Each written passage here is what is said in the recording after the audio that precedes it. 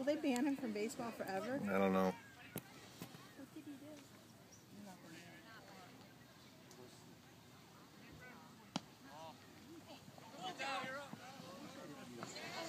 He just did it.